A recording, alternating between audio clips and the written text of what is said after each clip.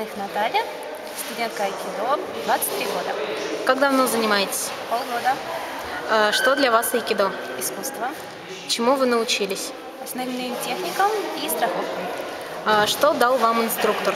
основополагающие принципы и основы искусства айкидо. Спасибо. Спасибо.